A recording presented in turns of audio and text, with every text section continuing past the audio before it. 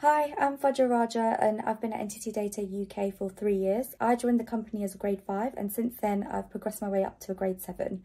The various networks within the company are a great way to meet like-minded individuals. One such network is the Women's Business Network and what's really great about this work stream is the fact that an equal number of male colleagues are really interested and involved in the Women's Business Network as are female colleagues and that's just a really positive thing to see. One of my proudest moments uh, at NTT DATA UK was being able to pilot the reverse mentoring scheme with Kim Gray. So I actually met Kim Gray at a diversity and inclusion event a couple of years ago.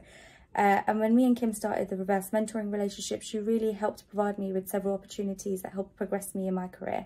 I think reverse mentoring is a fantastic opportunity um, for women to help other women within the business as a female in a heavily male dominated environment, NTT DATA UK as a company makes me feel equal to my male counterparts and that's one of the reasons why I think it's a great and positive environment to be in and I'd recommend the company to everyone.